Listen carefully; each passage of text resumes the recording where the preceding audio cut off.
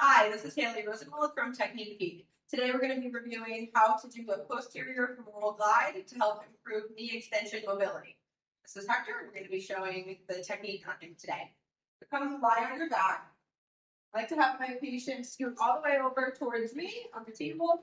I'm going to take a half foam and place it right below the knee at the joint line so that the tibia is supported and it provides space for the femur to glide. Okay. I'm gonna grab a stool so that I can get the right height here. But if your clinic has a high-low table, you can always lower the table there. From here, I place my hand just above the patella, and I'm going to place my opposite hand above it and apply a posterior pressure to the femur. Once I feel that end range, I'm gonna glide.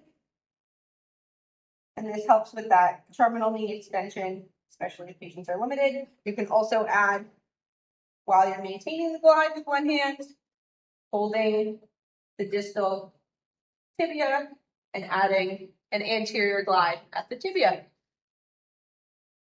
That's Haley Rosenwald from Technique Peek.